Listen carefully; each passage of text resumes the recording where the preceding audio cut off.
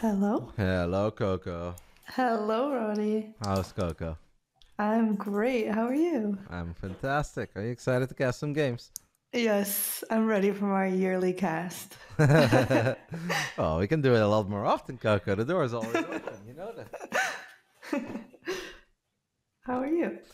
I'm doing good. Uh, well, for some reason my uh, stream died right before the weekly, so that was very annoying. Even though I already played three games, but I don't think it was my internet. I think it was Twitch. I put it on Twitch. Everything has been good so far, so I'm starting to think that I'm pretty good. But let's see if we can at least hang in there for a few more series. Hmm. You ready for some I'm- intros, Coco? I'm ready. Why don't you do both? The people want Coco. Sure. Okay. In the bottom left corner, the red Zerg playing for Basilisk. It is Reynor. Bam. He's out of his Jack Frost era. Now he's, I don't know, Reynor. The dick, the dickhead era.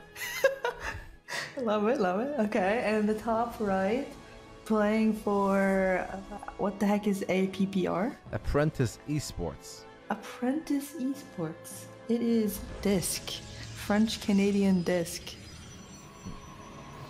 How was the baking stream, Coco? It was really fun, actually. A lot of things went wrong, um, but it, they turned out amazing. They were so good. I had like five cinnamon buns in two days. and I heard that you were brushing your hair again Uh, in the, probably. in the middle of the letter game. Yeah, well, sometimes I can't help it. If I feel like there's like a knot in my hair, if I don't brush it, it's all I can think about. You know? it ruins my game. All right. Poor Vicky. she didn't say anything. It was me who saw it. I think. All right. Vicky said, "Please don't tell her I saw it again." I was like, I was like "Okay, I will." All right. All right, guys. It's Oracle first for this. Second Oracle is about to come out, but we're gonna focus on the first one. That one though gets nothing. Maybe one drone in. Nope. The third, but I guess Reynor just don't really get anything for free. It's kind of annoying. Yeah, it was really good uh, response by Reynor. But I think the second Oracle definitely has a chance to find a couple of drones if DisK has good control. What do you make Maybe of the make some- Phoenix after two Oracles? I don't know. I feel like I don't often see Phoenix versus Zerg except from you. You're the only uh, pro player that does that. But uh, I think it could be fun. And I think it just wants to make one to kill an overlord, and then maybe go to the other side of the map to like lift their queen, and then see if the oracles can find some damage. But I just kind of think it's a pretty big investment. It's relatively late in the game. I don't see it have much of an impact. Not sure Yeah. if this is really the way to go. I feel like almost no pro does this. Like some of them will still build a lot of phoenixes, like I do, but just the one random phoenix to only kill an overlord feels like a big investment for not getting a whole lot in return. Yeah, I kind of agree. But uh, we'll see what he does. Maybe he ends up going Phoenixes. Probably not, but maybe. Uh, I think it's really nice that he kept both Oracles alive, though. Maybe we'll find some damage a bit later. I don't know, but maybe. It's gonna be tough. Who do you think is gonna win the weekly today, Coco? It's a tough one to predict. I feel like. Who's playing? Let me look at the let me look at the finals. It's gonna be Reynor, Max, and Clem, I guess, or in the finals. Those three probably. Uh, Reynor and Uh, Max would run into each other in the semifinals, assuming that they both get there. Yeah. Well, Reynor got a little bit lucky that Max got taken out by Gung Fu last week. So I kind of, I don't know. I think uh, Max is doing a lot better versus Zerg these days. I still think it's his weak, weakest matchup, but uh, I think it's possible that he busts out a win versus Reynor and then plays Clem in the finals. I don't know. It's obviously possible as well that maybe Showtime plays against Reynor in the quarterfinals, and that's going to be a very difficult one. We saw that at IEM Katowice, but I guess we can talk about it in a bit. I do agree with your analysis, obviously. Reynor is going to send it to the other side of the map. He's got a bunch of queens, he's got Overlord speed, so he can start dropping some creep, create a bit of a creep highway. And he is just going to be a very aggressive boyer against DisK. And this is, for instance, where that Phoenix is an investment that you really wish you didn't make. Because that's still a decent amount of resources that are just not going to be useful here at all. And you look at the army supply, Coco 80 against 27. That almost doesn't Yeah. even feel fair. I don't. I feel like DisK has no army. It's just those like two adepts, two zealots. The overcharge immediately gets called, and it's gonna help a little bit, but even it's just way too much army for Reynor. yeah, so many Zerglings, roaches, so ravages. much. Kind of Yeah. ridiculous. DisK was sitting on a bit of money. Has one Immortal coming in from the left, but that Immortal is only shooting at the wrong units. Zerglings and Queens are not the targets that Immortals are looking for. And Yeah. DisK is just getting completely overrun here in a seven minute game, in which not a whole lot happened. Just Reynor doing Reynor things. Clean defense, one attack, and it's over just like that. Yeah, it looks a lot like my PVZ games. A lot of nothing, and then I'm dead. So I definitely relate. Did you ever try the Phoenix uh, DT style, Coco? I feel like it's made no, for you. but I, I really feel like I would love it. And it looks so good when you do it. Like, it looks so clean. So I know I have to try it. Actually, I've been doing a lot more macro versus Zerg these days, so I should try that. A little while ago, when I stopped by your stream, I was blown away. The kiting, the micro. I was like, "Oh my, who is this lady?" I didn't even I- recognize you. I'm not kidding. I have really improved at my macro. Like I decided, I know that what you said was micro, but I decided recently I was like, I'm tired of losing to the same stuff every time. So I've been getting coached a little bit. I've been taking third bases at four minutes. I'm I'm on top of it. All right, who's done the coaching? Kind of a lot of different people, but you know, like Foxer, Clem. When Can M Can's around, he'll coach too. We just have like a Discord of people who are willing to give feedback and ideas and stuff like that. I'm getting messages from Reynor Coco. I forgot exactly what we were talking about two minutes ago, but I think he said something along the lines of "This was lucky," and Reynor is whispering me saying, "Lucky my ass, Coco. Tell her that." Wait, I'm hearing this shit talking. wait, I didn't say lucky. I said, is he talking about how I said it's nice that he had the oracles alive, or when did I say lucky? I don't know, but uh, he's just memeing, obviously. But I don't know exactly what it is. But he's tuning in, and he's calling you out. The peanut gallery is listening. Yeah. No, I, I never, I do not ever think it's lucky for Reynor to win against DisK. Obviously, I think. I'm sorry. I think he has a very good chances versus DisK. Hey, uh, have you played any Padel? Because you said there was a court so close to your house. I haven't played recently, but I have played like maybe five times now. Oh. I, I really I like it. I'm not very good at all, but I think it's really fun. I like to try and do like trick shots Yeah. off like the wall. Do you have your own racket, or you just rent a racket? I just rent a racket there. They have like a racket vending machine. Ah, okay. How much is it to uh, rent a racket each time? Uh, it was pretty cheap. I think it was like a hundred kroner, so that's like ten dollars, and then you keep it for as long as you want for the day. So like in total to rent like the court and everything, it's maybe like thirty euros for everything. Pretty good records are not that expensive though. So if you plan on uh, playing a few more times, it is definitely worth just buying your own. Because then a you also Yeah. get used to it, right? Because it's yours, and b then you don't have to pay the ten buckies every single time. That's true. But right now I'm addicted to Counter Strike, so I'm just playing Counter Strike like every minute of free time I have. CS2. yeah, I'm so addicted. You still have to play with us. All right, one day. after America, after the Big Game Cup, after some regionals and whatnot, if we then have some free time, I'll play some Counter Strike. Do I have to buy the game or not? It's free. Everything's free. Sick. All right, I might be in. Okay, guys, round two. Oceanborn. Bottom right side, we are looking at the main base of the man who is one round, uh, one map away, rather, from making it into the quarterfinals, where he will play a Protoss. We don't know which one. Could be Showtime, could be Harstem. This is Basilisk Reynor.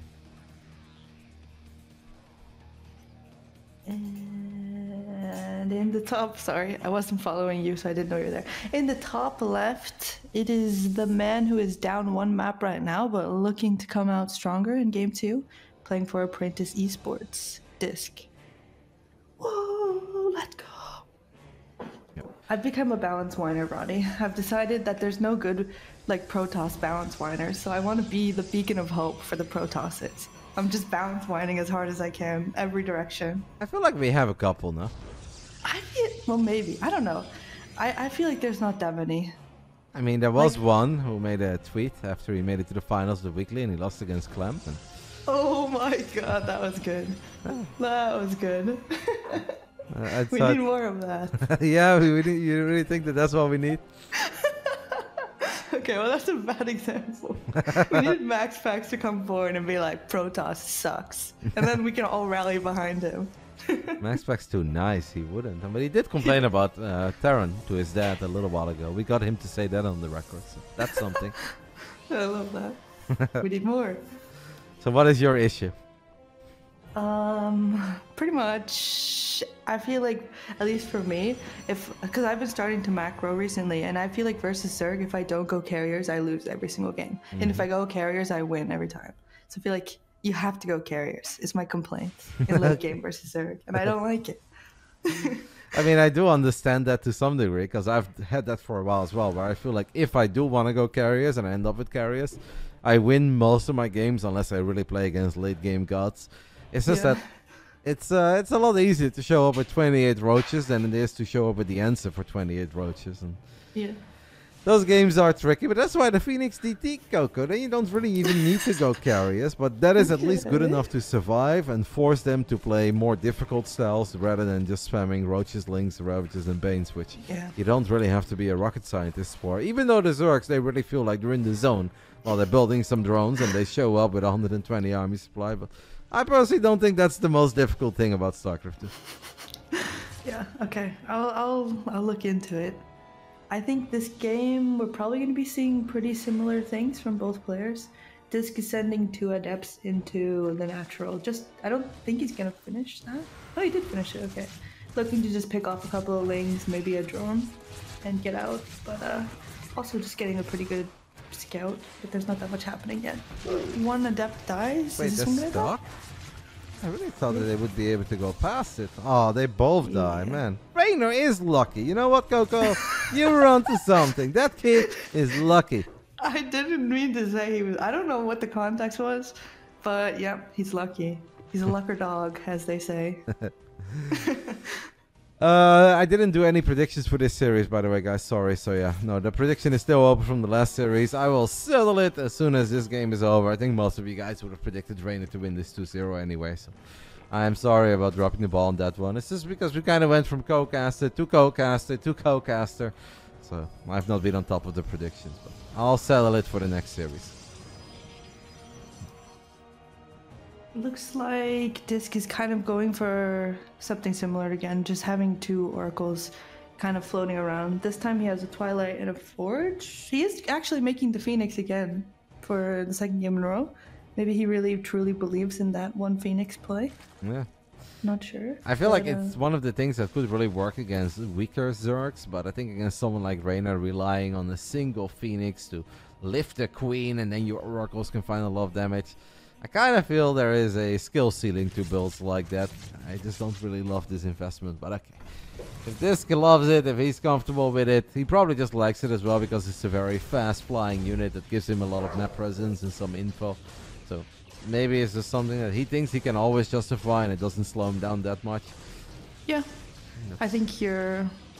I think you're right. That's why he does it. And I guess it's nice to push away that one overlord. That's close. it's not bad to do that. But uh, I agree that definitely versus like a worse it would probably be a lot more helpful. But versus Reynor, you're gonna struggle to find like any special damage with something like that. Well, know, it's kind of doing the same thing again. I see Overlord mm-hmm. Speed already on the production tab. He is building a lot of lings. He's building a lot of roaches. I don't know if Reynor really saw something on the other side of the map that should have made him worried. There's also a chance that he doesn't want to show anything yet before he plays against the other Protoses in the the next rounds, because there's a good chance he gets Protoss quarterfinals and semifinals tonight if he goes that far. And maybe this is just one of these builds that Reynor believes in that he can always win with, just because he is that good. He knows that he is that good. And yeah, even though DisK is an incredibly good player, he probably just feels that DisK is not going to be able to stop this attack. And Yeah. if it is that simple, yeah, why do something else, right? Yeah, I mean, I completely agree with what you're saying. And it looks, I'm getting deja vu from how it's starting as well.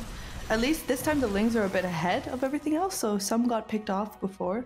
But I think when the Roaches and the Ravager show up, it's going to be so hard to hold this. Uh, even with the batteries finishing up and more gates finishing up, it's going to be very hard to hold. The scouting phoenix of DisK is gonna fly over this entire army. Reynor is here, morphing a bunch of roaches into ravages. Queens are gonna try to buy a little bit of time. Queens already doing their injecting though. Stasis trap gets activated. Battery overcharge is activated all the way in the back, but the corrosive balls are still going to land in the heart of this Protoss army. Does feel that this is a much better defensive setup for DisK. The only question is, is it good enough that Immortal live for a while?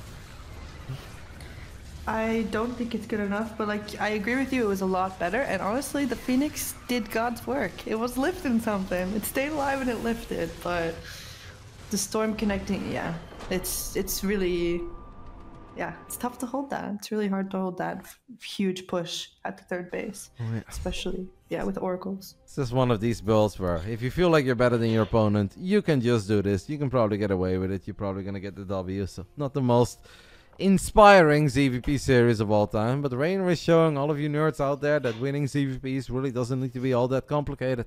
You make a couple drones, you make a couple queens, you send everything to the other side of the map, and just like that, it's over. Yep. That's why we need more balance miners. We need Max Pax to come out and be like, it's impossible to hold that. Truly impossible. I don't know if Max Pax would fall to that strategy. Reynor might give it a shot, would. but I personally don't see it. No, Uh, I don't think he would. We got unlucky, by the way, because I see that Harstem is four minutes into a game versus uh, Showtime. I don't know if that's game two already, but I feel like not too long ago he updated everybody in the chat that he beat Nikic, the Belarusian Zerg, 2 to 1. So there's a chance that that's only uh, game one, and if you want, we can hop into game two of that PvP together. Yeah, sure.